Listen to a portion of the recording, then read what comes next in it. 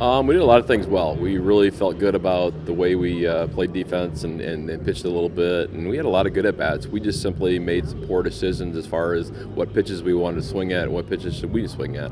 So we feel good about the fact that we threw seven, eight, you know, freshmen, sophomores out there, and saw a lot of real good athleticism. It's just a matter of improving some of the decision making. Our playing against teams that have all practiced outside and, and seen actual sunlight and dirt. Um, we're okay with that. We will compete and, and, continue to grow and get better. Well, they've done a similar thing. They've taken um, two teams from the Big Ten and two teams from the ACC, and they meet at one site, and everybody plays.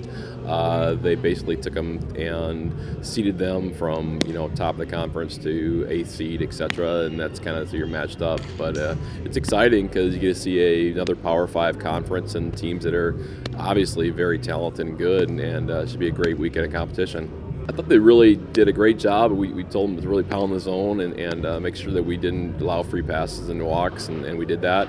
Uh, the one thing we want to do is get a few more swings and misses and, and get some more movement on the ball, and that's kind of what we're going to concentrate on here in the next couple days. But I thought as far as you know everybody doing their job, we really did well. Um, Sid came in in a couple situations that were tough, where she, you know, Oklahoma were down 7-0 in the fourth, and she came in and shut out Oklahoma for three innings. So we're really happy with Sid and her her performance, and I think that's kind of the role that we've talked about using her as, kind of that three to four to five inning type of pitcher that really can come in and give us that extra edge when we have to. I think we learned that, as Coach Bosch said, yeah, like we're not we are ready to play, but we're just not. We weren't ready to take on teams fully as like they were because we obviously have to practice on turf and not on dirt. So like in that aspect of the game, we were a step behind. But I think that we definitely grew as a team. Um, I think that we learned that a lot of our younger players are going to step up and be a huge part of this team this year. I think that we can hold our own.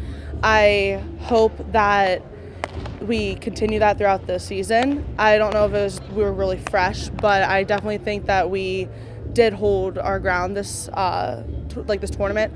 I think that our hitters, like I said, like playing in here is nowhere near playing outside. Like even pitching wise, it was it was a little difficult. Luckily, we got to go out the first day and throw, but I think that personally for pitching, I know that we're just gonna try to perfect what we didn't really have for day two, especially day one. I think we are very fresh, but then day two, because we're not used to it, we're just trying to perfect that today. So we're not going to do anything crazy. We're just going to take what we had and just run with it. And I know that the hitters are just focusing more on like their eyesight because um, it's just the whole being able to take this and then use it to the outside. That's all that we really need, and I think we can play anyone.